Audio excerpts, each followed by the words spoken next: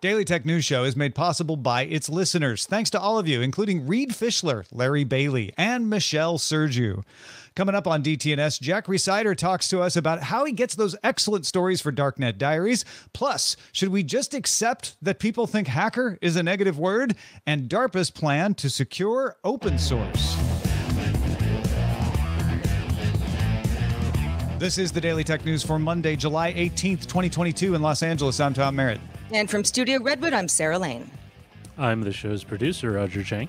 And as I just mentioned, joining us, host of Darknet Diaries, Jack Rhysider. Thanks for joining us, Jack. Glad to be here. Thanks for having me. I, I really appreciate you taking the time. Uh, we are huge fans. Uh, and when I say we, not just us on the show, but like every single person in our audience, uh, you were the number one person when we asked, like, who should we get on the show this week? Uh, so we really appreciate it. We'll have to do this more than once then. Yeah, absolutely. I'm in. Uh, let's start, however, with a few tech things you should know.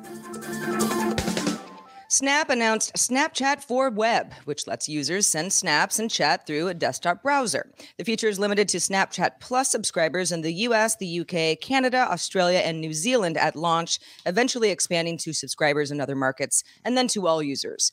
And yes, the web app will also prevent users from taking screenshots, but remember, it can't stop anyone from taking a photo of a snap on the web with their phone. Instagram added the option to shop through chat. The feature began rolling out to qualified small businesses in select countries, letting customers ask questions, get product details, and check out using MetaPay in the chat interface. WhatsApp added chat based shopping back in October. Denmark's data protection agency ruled that data processing of student data using Google's Workspace suite does not meet the requirements of GDPR. The agency found that Google's data processor agreement allows for data to be transferred to other countries to provide support, although ordinarily student data is stored in an EU based data center. The agency ruled that schools in the municipality of Helsingør must stop using Workspace and Chromebooks as a result, further saying that the ruling will probably apply to other municipalities and that it expects then to take relevant steps based on that decision. If any of you missed the net neutrality debates, guess what? They're coming back. The Washington Post reports that U.S. Senators Ed Markey and Ron Wyden are preparing to propose. so they've got a proposal and they'll propose it soon. Uh, the Net Neutrality and Broadband Justice Acts. It's a small bill, uh, two pages, which is nothing for Congress. It would reclassify broadband telecommunications as a Title II service or a common carrier, as it was under the FCC during President Obama's administration. The internet was reclassified under President Trump as Title I, an information service, more like cable TV. This new bill would also give the FCC the power to set rules against throttling, blocking, or paid prioritization.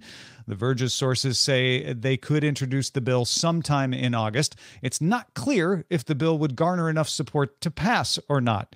Speaking of things like that, uh, FCC Chairwoman Jessica Rosenworcel circulated a notice of inquiry to fellow commissioners seeking to increase the national broadband standard from 25 to 100 megabits per second and uh, downloads from 3 to 20 megabits. Uh, I'm sorry, 25 to 100 megabits down, 3 to 20 megabits up.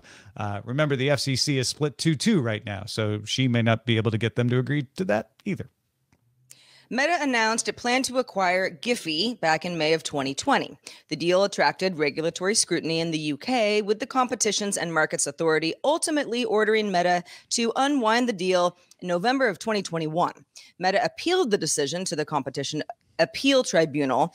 That body largely sided with the CMA, but found that the CMA failed to properly inform Meta of Snap's acquisition of Gfycat, thus undermining Meta's defense. As a result, the tribunal ordered the CMA to reconsider its ruling, giving Meta an opportunity to comment on its final report. Stay tuned. Mm-hmm. Uh, all right. Uh, let's talk a little more about open source. Uh, some people probably still think of open source software as a hobby. Uh, you, you imagine the the individual tinkering around with their code, railing against proprietary systems, and, and that kind of thing absolutely still exists. But open source software is much larger than that. It underpins a large part of how the world operates.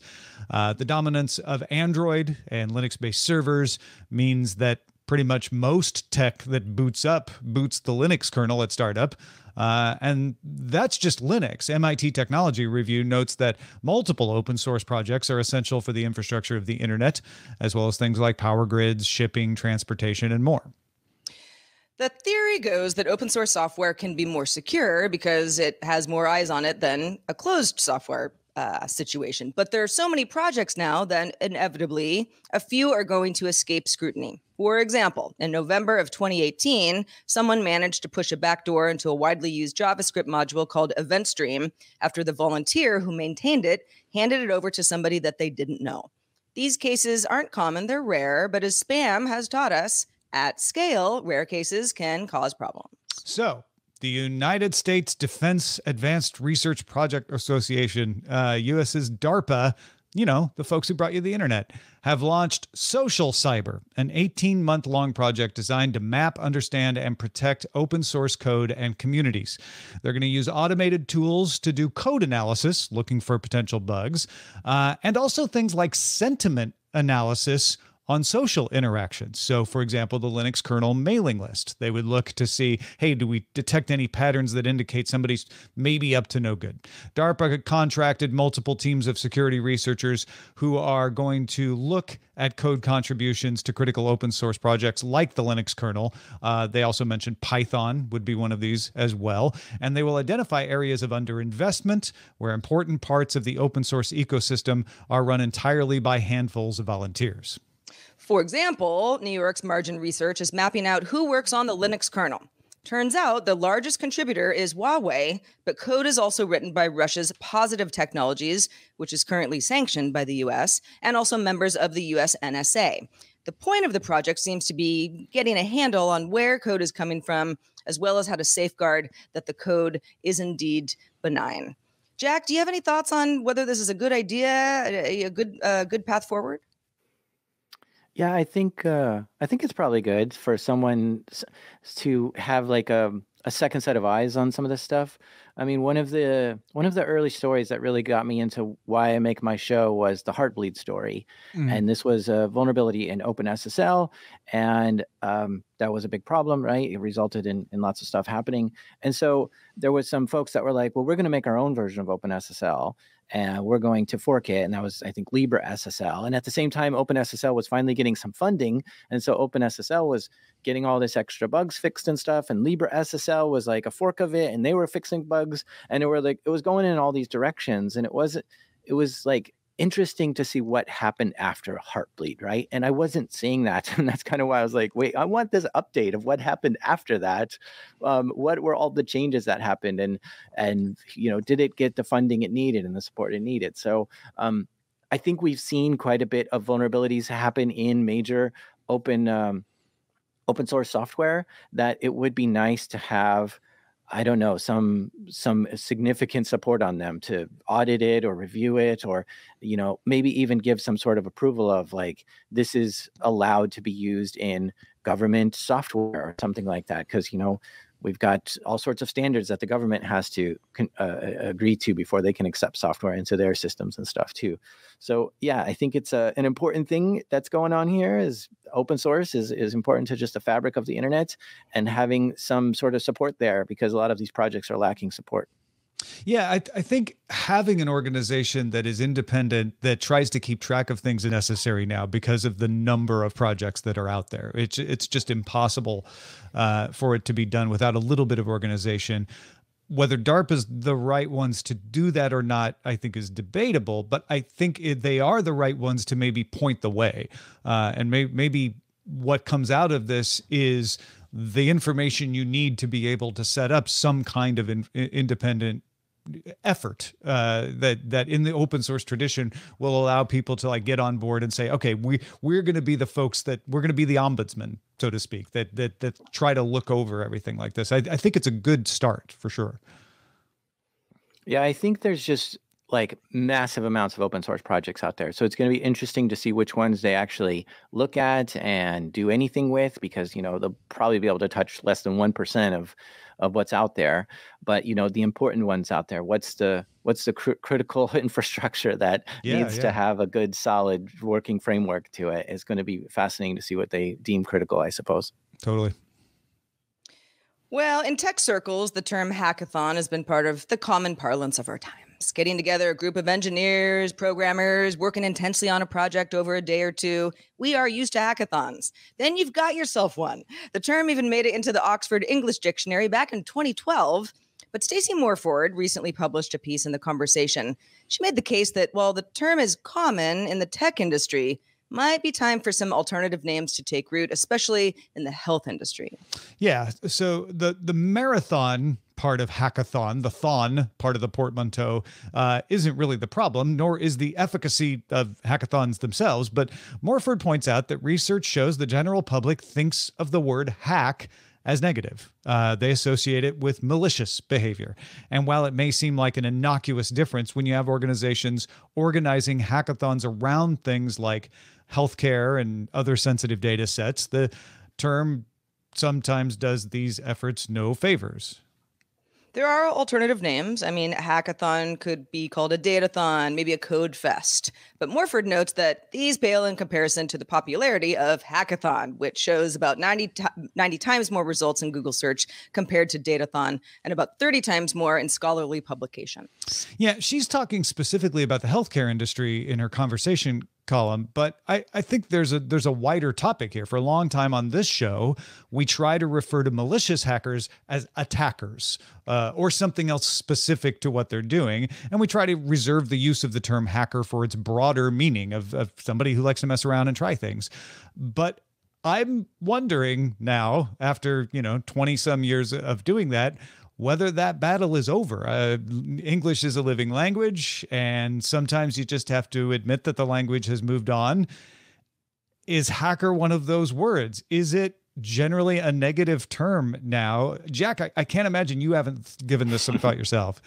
Yeah, I think um, hacker has become such a common day parlance term. I mean, I'm thinking immediately lifehacker.com, Mm. hack a day.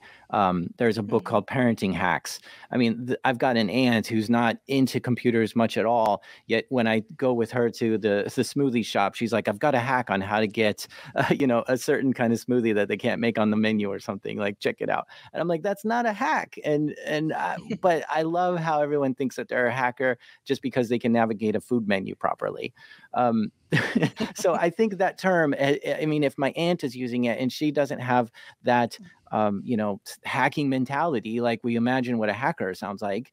Um, what is hack anymore, right? And so uh, I think it it definitely doesn't have a negative connotation, just in the sense of like, yeah, I've got a I've got a travel hack or I've got a parenting hack. Mhm, Like that's totally not negative at all. That's a great thing. Oh, I want I want to hear about that. Tell me about your parenting hack. And so yeah, I I take I take uh you know I disagree with the idea that hack has such a negative term. I think it's used very commonly now.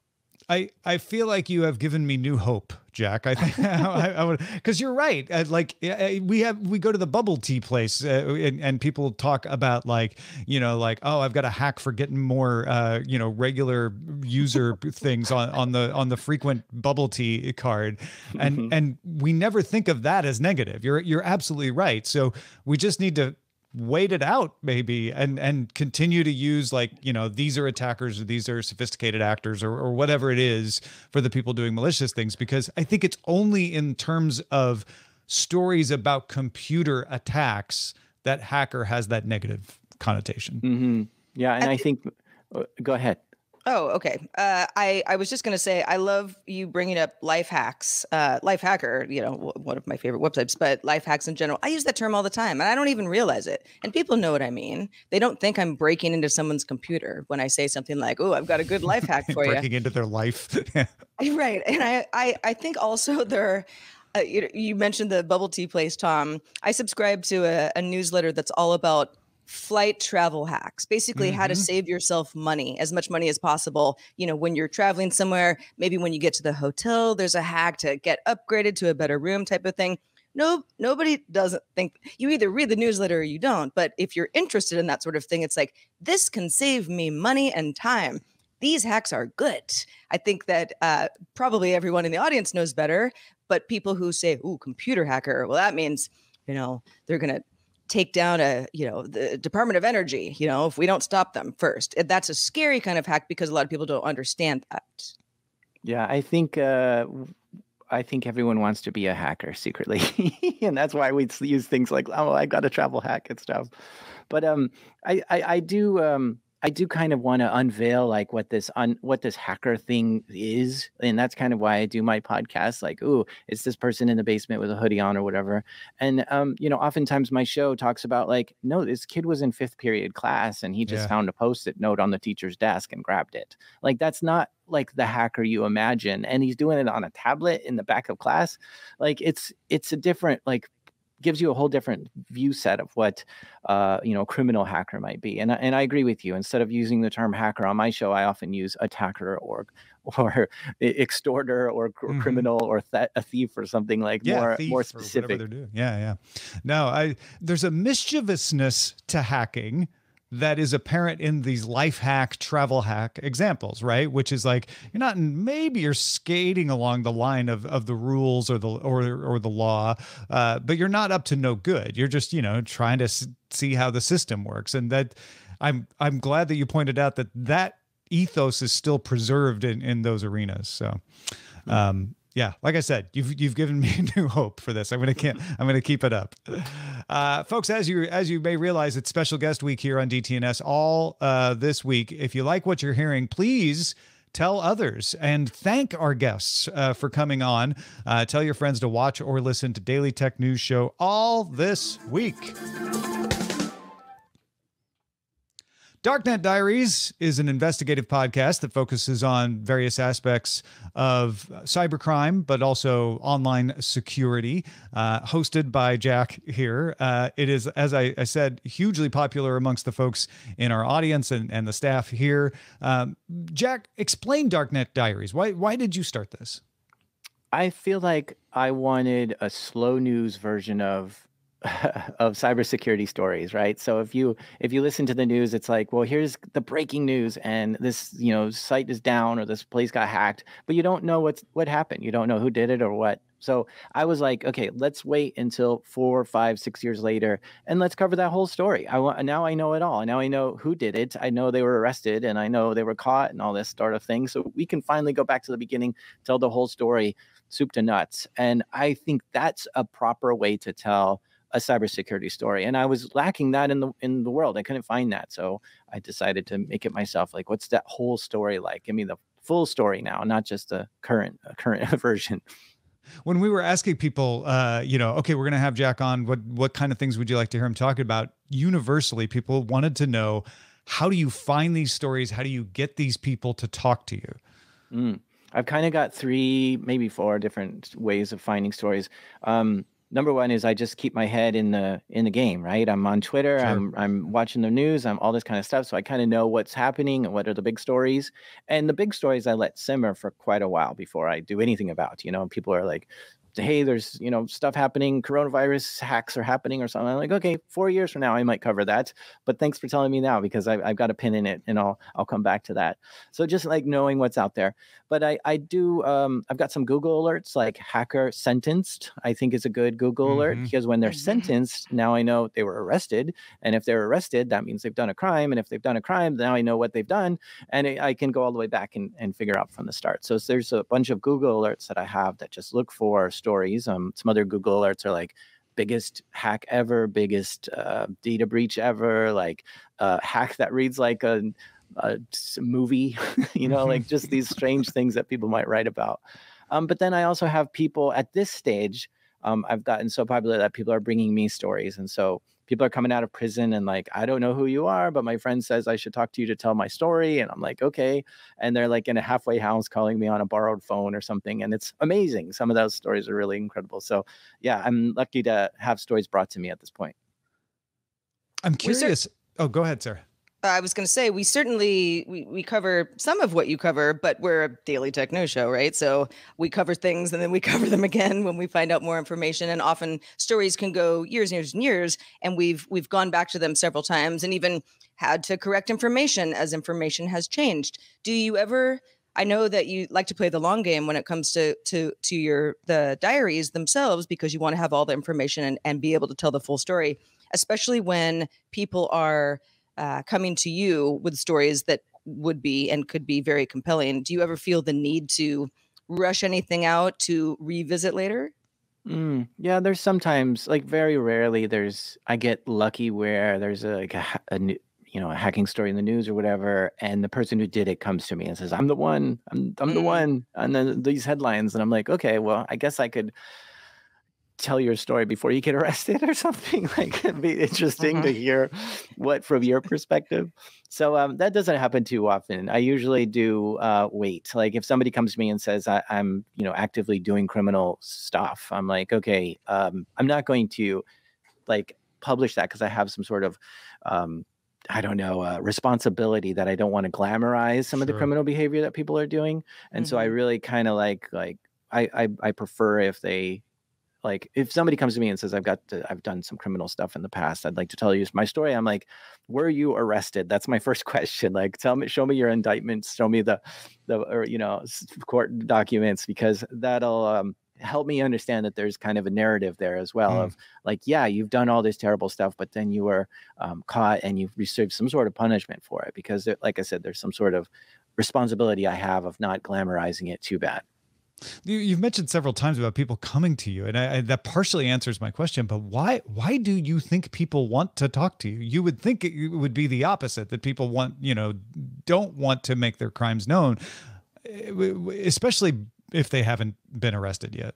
yeah and and to top it off i think it was very difficult for me to ask people hey do you feel like telling me about that worst day of your life that time where you were hacked or you did this like horrible crime or whatever and uh, like i was really nervous and not even wanting to talk about it but um you know as i got in as I asked those really hard questions in some of those early interviews those people were telling me like wow i've never actually spoke about this in such detail with you with anyone Mm. nobody's asked me how i felt the moment i pushed enter you know like Yeah. that that's like a whole new question that nobody nobody's ever asked. So it was it's almost cathartic for some of these uh, people to just express it all and get it off their chest and say yeah that's what happened. And you know some of the news stories get it wrong. And so now they want to come on and say i want to i want to set the record straight. This is not the kind of person i am. Here here's more clearly like what, what why i did things and stuff. So they don't like how the media portrays them sometimes and they want to get that cleared up.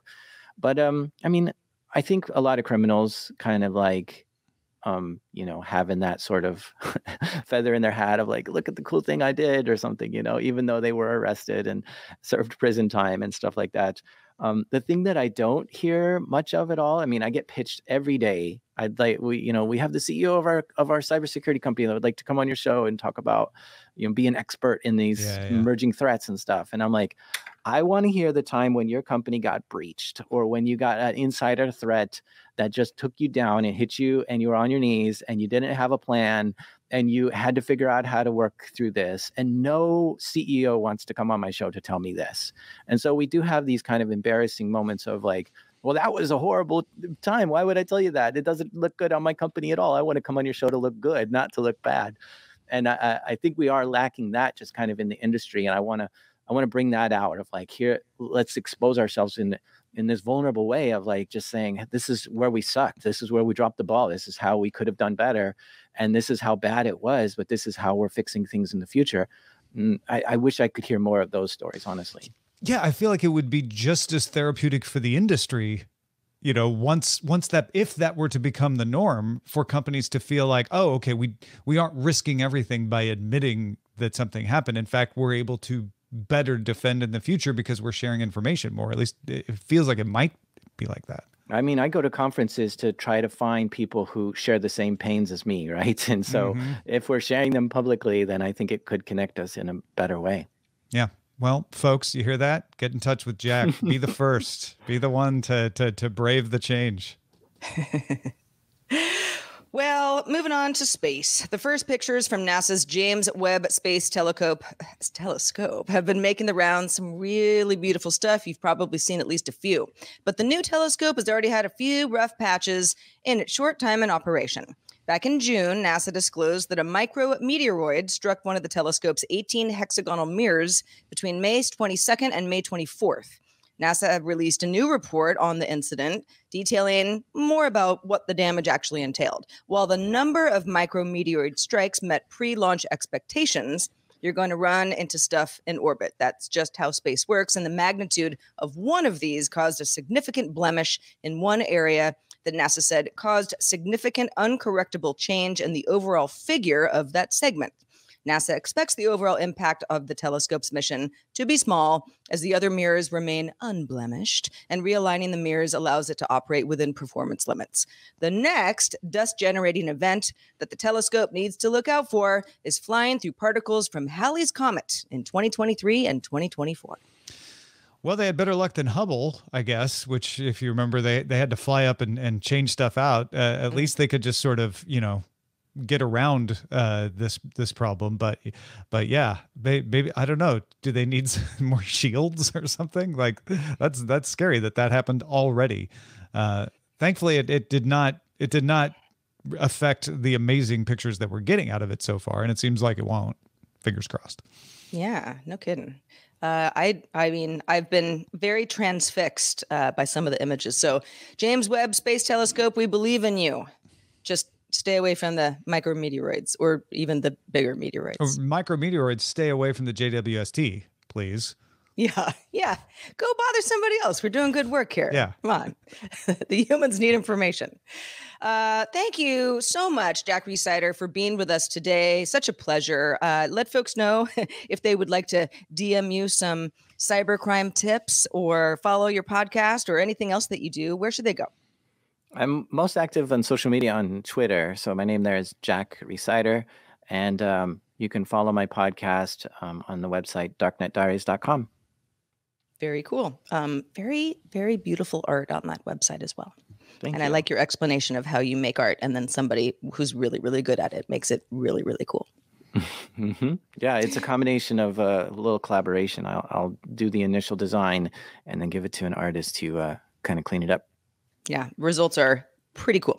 Uh, thanks to our brand new bosses, Andrew and Eric, came in over the weekend, just started backing us on Patreon. Thank you so much, Andrew. Thank you so much, Eric. One for also, each day on the weekend, yeah, right? That's yeah, perfect. It's Y'all true, the best, yeah. like a tag team. Yeah, and you know, tomorrow it could be you.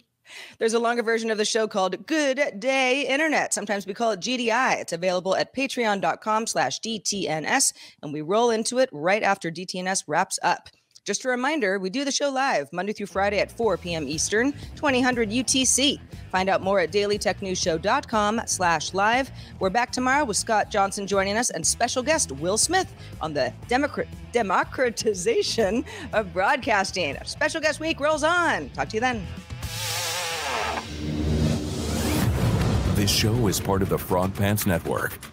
Get more at frogpants.com. Diamond Club hopes you have enjoyed this program.